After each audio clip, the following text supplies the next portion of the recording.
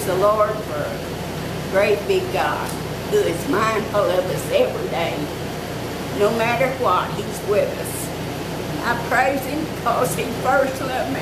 Yes. He delivered me out of a lot of stuff. And you know, the other day when I fell, it just happened to be that I had two or three there to help me up, or I couldn't have got up. You know, I praise the Lord the because He's so mindful of us. Yes, He amen. loves us. He loves us above everything. He wants us to be saved. He wants to see us go to heaven, not Amen. hell. Heaven, He no. wants us to go to heaven, and I can't. This church has got the Spirit. A lot of them don't have it.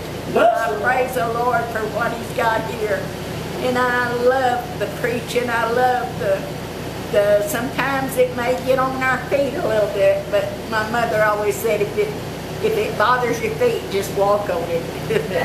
Go on like it never happened. And I do praise the Lord because He's He loves us.